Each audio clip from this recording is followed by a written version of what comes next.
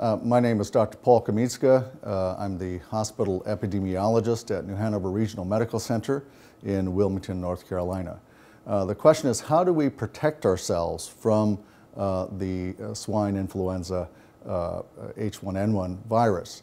And the answer to that is, first of all, hand washing, very important. Not only using soap and water, but also making use of alcohol gel hand sanitizers, which are effective. Uh, second is uh, avoiding contact with uh, people who appear to be sick with respiratory symptoms, uh, fever, cough, aches. Uh, in addition, uh, trying to avoid crowded areas if possible. when you're in a crowded area, that's where influenza may be transmitted more easily. You have to be aware that, for example, doorknobs, uh, or any uh, uh, items that people are touching could potentially be contaminated with the flu virus, again underscoring the importance of, of hand washing.